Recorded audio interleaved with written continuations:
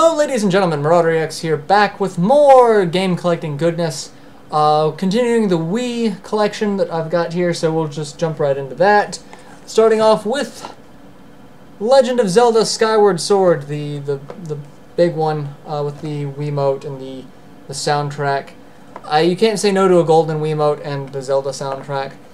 Um, you, you just you just can't. It's it's fantastic. I haven't really gotten into Skyward Sword. Um, I spent a couple hours in it just learning how the, the motion control works, but I haven't gotten far into it. Doesn't seem as earth breaking, earth shattering, ground breaking, earth breaking, earth breaking. We're gonna do earth breaking now. Um, as some of the other other Zelda games, but uh, it I don't see it, it seems to have very polarizing reviews. But I obviously I liked it enough to to warrant spending the the money on the big box. So, uh, following that, Legend of Zelda Twilight Princess, probably one of my favorite Zelda games, and I'll, I'll probably catch some flack for that. But I like the dark atmosphere. Uh, I don't really like the wolf segments, but I mean every Zelda game has, except for Link to the Past, has something. Uh, well, I, you can't even say Link to the Past because all, all the earlier games, but um, Ocarina of Time had the the the kid adult section. So this one has the human wolf or humanoid wolf.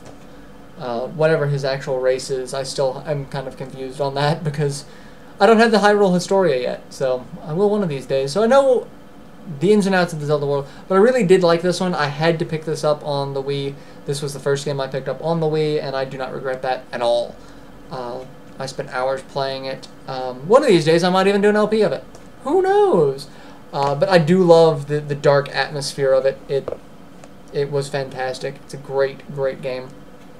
Uh, next up, we have Mad World. Again, a game by Sega that proves that if they want to do something different that doesn't suck, they can, but they don't like taking risks because risks equal spending money that they may not get back.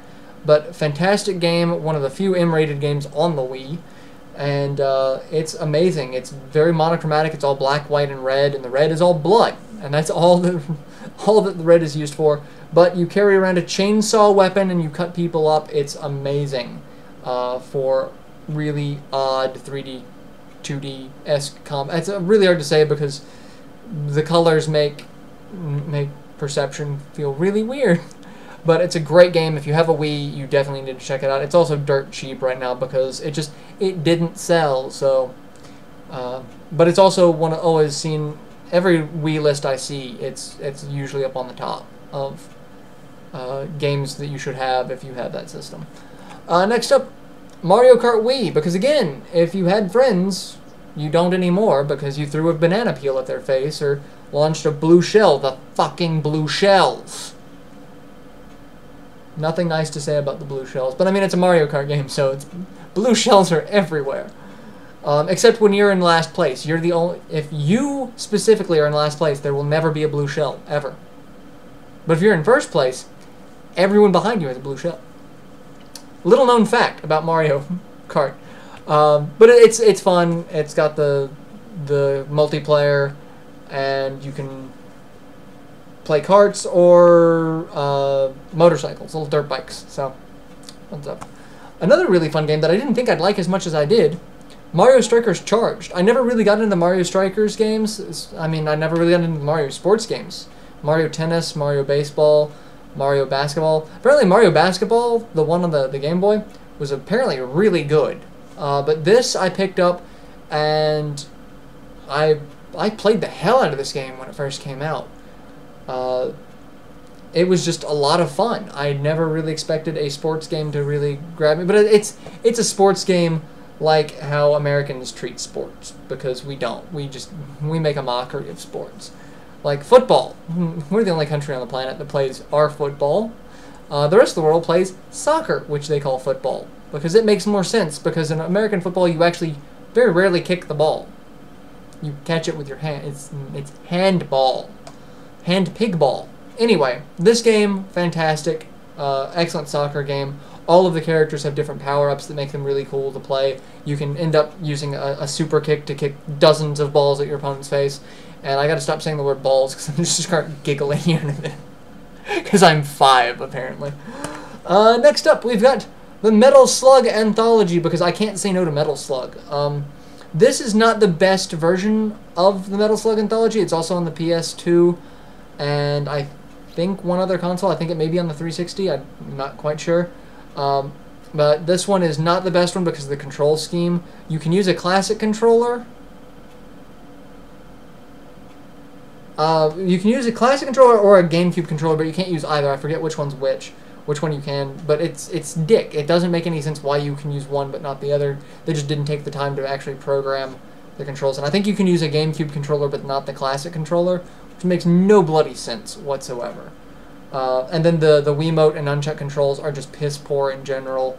Uh, like because they all want to use a waggle to throw a grenade, so you're just sitting here moving, and you're it's a Metal Slug game, so you're twitching, and you're just sitting here throwing your precious grenades like candy, and then you're like, I have no grenades because this game pisses me off. Uh, but play it with an actual controller, and it's not bad. But if you can get it on like the PS2 or something where the control scheme doesn't piss you off because of waggles. Just because it has motion controls doesn't mean you have to implement motion controls on a game that motion controls aren't suited for. Keep that in mind for the future. Uh, next up, Metroid Other M. I played this for a little bit when it first came out. I thought this would be a fantastic game because, hey, uh, Team Ninja's working on a Metroid game. Nothing could go wrong with this, and then everything went wrong with it. Um, all of my impressions of Samus went out the window. Some people say that that's just being that's being too rough on the game, and that it's you should look at it from her perspective. No, uh, they've taken a character who was the poster child for strong female characters in gaming and made her just a whiny bitch, and I cannot forgive them for that. Um, if you can mute it and ignore half the story, it's a good game, but the the, the rest of it, it just saddening. Next up, Metroid Prime 3 Corruption. I played this about halfway through, uh, and I played this without actually playing the other Metroid games, because again, I got a Wii before I got uh, access to the other Metroid games. And I had a lot of fun with it, but I still I don't like the first-person aspects of a Metroid game. I always liked the side-scrolling. That's why I thought I'd like this, because this is more of an action-type game uh, that would be closer to the, the roots than a first-person game, but I just eh. There's there's a lot about it I couldn't get into. It's a it's a good trilogy. It really is. Uh, and the the Metroid Prime trilogy is better than Other M because Samus isn't a whiny bitch in it. Uh, she's still the strong, independent woman that she always has been. You you because I'm a strong, independent black woman. White teenager, no. Um, American Dad. We've been quoting that for a while. I don't know how it got brought up in conversation, but it did and now I regret it. Next up, we have Muramasa the Demon Blade. Um, it's a Vanillaware game, so it's a side-scrolling action game involving lots of killing things with swords, usually. Uh, Vanillaware is big for Odin Sphere, Princess Crown, and they've got a game that's supposedly coming out called Dragon's Crown um, in the future. So it's it's a great samurai style game where you go around collecting swords and beating up on bad guys. Uh, it's and the art style is just gorgeous because they're great at doing the 2D hand drawn art style. Uh, well worth whatever you have to pay to, to pick it up. Uh, there's also a version of Muramasa coming out on the Vita. So if you have a Vita, you can try that too. So uh, next up, we've got new Super Mario Brothers Wii. Do you have friends? Do you want to keep them? Don't play this game with them. Um, no, if you have friends who are good at co-op, it's a fun co-op game. Um, precision platforming, however, is a bitch because you knock each other into things. So if two people cannot occupy the same space. So if one person jumps onto a narrow platform, followed by another person, you can either knock them off or bounce off of them and fall off to your death. Um, and if you have friends who aren't good at co-op, who like dicking you over, then this game will last all of about five minutes because they will kill everyone and then just run to the exit and leave you in a bubble. That's how this game. Those are the two ways this game is played. Either that, or you just play it by yourself and play it like a, an old school Mario title, which is kind of fun. That's how I played it. Um, I played it with some friends of mine as well, both on the, the co-op and not co-op camps. Um, never finished it with either of those uh, two groups, but uh, beat it myself, so that's that's all there was to it. Next up, NiGHTS Journey of Dreams. Um, it sucks. I got nothing else to say about it. I was very, very disappointed in it because I love NiGHTS into Dreams on the Saturn. It was a great game. This one, they tried to add too many modern conventions to it. Oh, let's give voice acting. Okay, NiGHTS is a genderless character. This is an argument that happens all the time on my NiGHTS into, NiGHTS into Dreams Let's Play on the Saturn. Uh, what gender is NiGHTS? Oh, it's whatever you want it to be. It's, it can be whatever you want it to be, but NiGHTS by itself is defined by the series creator that it's neutral. It's not male or female because you can't have children merging with either a male or female character because you have a male and female child. So you either have sexual overtones or homosexual overtones depending on how you go for it. So they gave NiGHTS a voice, and it's voiced by a female voice actor. So that led, oh, NiGHTS is a woman. No, because then you've got a little boy fusing with it, and then you've. How do you explain that? How do you talk to kids because this is geared more toward a younger audience. How do you talk to them about that without saying it's gender neutral? The best way to say it is it's whatever you want NiGHTS to be. If you want NiGHTS to be male, if you want NiGHTS to be female, great. But there is such a thing as gender neutral, and that's what NiGHTS is supposed to be. Um, and the fact that they tried to give a voice and they tried to give more of a story and they just changed the characters and just changed uh, too many changes that were not necessary. I was so disappointed in it. Uh, next up, No More Heroes. No More Heroes DOS. Um, also, some fairly rare M-rated games on the Wii. Um, you play as Travis Touchdown, a gamer geek who buys a lightsaber on eBay, basically. And when that's your your backstory, you know the game's going to be awesome. And it is. Uh, you go around killing assassins to raise your rank in the League of Assassins. And then the second game, it all comes back to bite you in the ass. And you get a second sword. So, I mean, hey, you're now dual wielding lightsabers.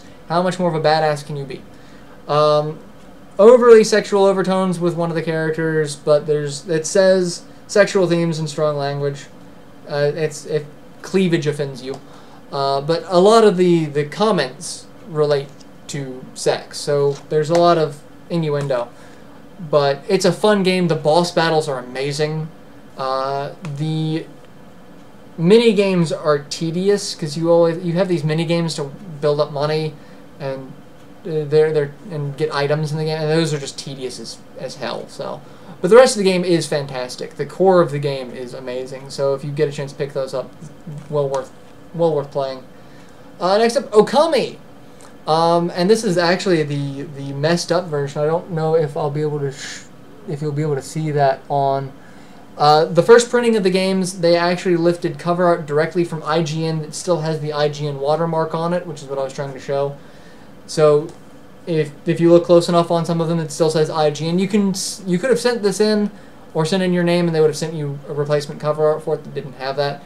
But I thought, hey, that's a huge fuck up let's keep that because that's fun. Uh, but I figured Okami would have been great on the Wii because of the uh, the brush mechanics. Not so much so. It's better on the PS2. Um, but it's Okami, and I wanted to support the uh, I wanted to support the studios, uh, Clover, for working on it. But by the time this came out, Clover was actually being shut down, which is a huge disappointment because the PS2 version of this was nominated for so many awards and accolades. It just didn't sell enough to warrant the money they spent into it. But this is one of my go-to games to say video games can be art. So that's whatever. If you can get it on the PS2, get on the PS2. If you can't get on the PS2, the Wii version is an acceptable substitute. Uh, but if you ever want to say that video games can be artistic, this is one of those games that you can use for it. Uh, next up, Phantom Brave, Till We Meet Again. Do you like throwing your characters at other characters to fight them? You can do that in this game. This game is just, it's weird. It's um, it's an NIS game, Nippon Ichi Software. Um, so uh, they're famous for a line, I'm going to overlord your face off. It's what, Makai Kingdom? Yeah. Yeah. It's famous with us. I'm not sure if well, it's, it's famous with us. Well, I mean, I we I, I think they're more known for the like Disgaea. Yeah, they're, they're more known for the Disgaea series, but when you have a line that says I'm and it's a voice acted line by a well known voice actor. I forget his name. I think it's Crispin Steve. Freeman. Is it Crispin or is it Steve Blum? I think it's Crispin Freeman. Either Crispin Freeman or Steve Blum. Helix thinks it's it's Crispin Freeman, so I'm gonna go with with Freeman. Uh, when Crispin Freeman, a well known voice actor, goes, "I'm gonna overlord your face off." There's nothing you can do but laugh. Uh, but that, this has nothing to do with Phantom Brave, because he's not in this game, is it? No, he's in the PSP. He's in the PSP version, but he's not in the Wii version. This game is on the PS2, the PSP, and the Wii. It goes PS2, Wii, PSP in terms of release date. Uh, each game they add just a little bit more to it to justify why you spent money on the previous version. Uh, but it's an interesting tactical RPG where there is no grid; it's just area of radius. Uh, it's it's a weird weird game, but I had to get it because it's Nippon Ichi software and they started growing on me after playing Makai Kingdom and overlording people's faces off. So uh, yeah, Phantom Brave till we meet again. Uh, this one comes with a digital art disc. If you got the PS2 version, you get a soundtrack, and if you get the PSP version, you get a bunch of characters that were released in other Nippon Ichi games that were not in the other two installments. So yeah, I kind of went with the art disc. I kind of wanted the soundtrack, but Helix actually has the soundtrack, so I burned a copy of it. So all works out in the end. Uh, last for this video, Nintendo selects Pikmin 2. Uh, this is Pikmin 2 redone uh, with Wii controls. I always wanted Pikmin 2 on the GameCube, but the price was always prohibitively expensive because of its rarity. And I will never forget one of the first days I was working at GameStop, and someone walked in and said, "Hey, do you have Pikmin 2?" Yeah, we got it. It's forty bucks. Like, huh? How do you expect to sell that to forty bu- for forty bucks? Because we will, because it's it's that rare and it's that sought after by people who were a fan of the original game and collectors alike. So I mean, they wanted it. They just didn't want to spend forty bucks on it. But I mean, that's what it's worth because it's kind of hard to get a hold of. Um, and that's one of the reasons why I never bought it on, on the GameCube because it was at the time 40 bucks and I had a hard time justifying spending 40 bucks on a used game. Uh, but then I heard that they were doing the re-release on the Wii for 20 bucks. I'm like, sure, 20 bucks for a new game. That's a little more palatable. Uh, the Wii controls are a little weird to get used to, but it's still Pikmin 2. It still has all of the, the charm and love that the original Pikmin 2 had, just half the price. Um, I don't know if the release of this one actually affected the GameCube price at all, um, but that's something I'd kind of be interested in seeing. You know, the, the date on that. But yeah, uh, Pikmin 2, it's one of the Nintendo Selects, so one of their, their greatest hits versions, because it's about time Nintendo started doing the greatest hits reprints. I was kind of hoping they'd do that for, the, you know, a lot of their first party games that are still, you know, really expensive. Like all the all the first party Nintendo games will sell for 40 bucks used, period, because it's a first party Nintendo game. So I was kind of hoping they'd do more with that, but it seems like they left it by the way, wayside now that the Wii U is out. So Oh well. Um, so yeah, that's part two of the the Wii collection. Um, remember, overlord your face off. Uh, see you guys in the next installment. Till then, later.